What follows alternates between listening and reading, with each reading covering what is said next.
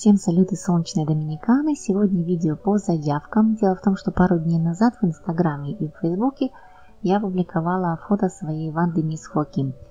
У меня на канале уже было видео, как ее приобрела, как ее пересадила, но не было еще видео о том, как она чувствует себя, где и как она растет. Поэтому девчонки у меня попросили снять это видео, и вот я наконец созрела. Надеюсь, оно будет полезным. Приятного просмотра. И вот так выглядит моя девочка на сегодняшний день. Изначально она у меня была посажена, кто смотрел мои видео, в горшок с камнями. Если не смотрели, то я оставлю видео, ссылочку на видео в описании. Но мне как-то эта посадка не очень подошла, потому что сама по себе эта орхидея очень высокая. Или я ее лично пару раз э, переворачивала, кто-то ее цеплял, либо она от ветра падала. В общем, было ей там некомфортно, потому что она постоянно ронялась, если можно так сказать. И я решила ее пересадить все-таки приближенным к ее естественным условиям, то есть ближе к земле, потому что Ванда Нисхоким считается орхидеей террестриал, то есть земляной. Но опять-таки земляная это, можно сказать, в переносном смысле, потому что там, где она растет, там не чернозем. В тех краях обычно глина, песок, камни – вот, поэтому здесь у меня такой старый ствол от э, фруктового дерева гуаява. Я просто ее втыкнула э, поближе к ней и обложила э, кусками корней папоротника. За это время она довольно-таки хорошо подросла. Здесь у нас прямые солнечные лучи, вот даже видно небольшой ожог, но минимальный, так сказать, потому что, как и все ванды, они очень любят солнце.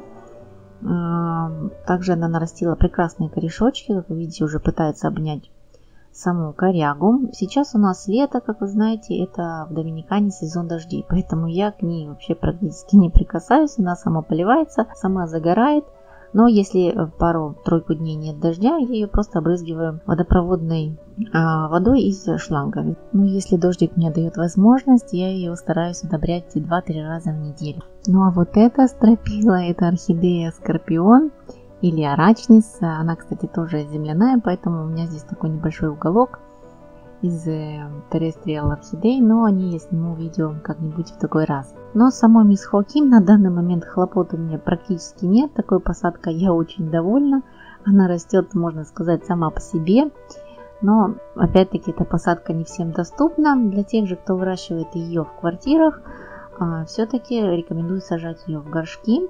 А, просто должна быть крупная кора, какие-нибудь камни, либо керамзит, э, и по мере просыхания поливать этот субстрат. Но верхняя часть орхидеи, которая не в субстрате, по возможности всегда должна быть влажная. Опрыскивать как минимум два раза в день, чтобы вот нарастить именно корневую массу воздушную верхней части. Еще одна важная составляющая это, конечно же, освещение. Постарайтесь ей обеспечить круглогодичное хорошее освещение, потому что ванды – очень любят цвет, особенно эта хрупкая девушка мисс Хуаким. А насчет э, удобрений, я уже говорила, я летом удобряю 2-3 раза в неделю, а, опять-таки по верхней части, как говорится, у нас по листу, потому что в основном вся ее корневая масса наверху. Нижняя часть, я так думаю, она приспособлена для того, чтобы просто орхидея могла а, как-то закрепиться. Надеюсь, я все охватила, обо всем рассказала, но если все-таки я что-то упустила, пишите в комментариях. Постараюсь ответить на ваши вопросы. На этом все. До новых встреч. Пока-пока. Счастливо.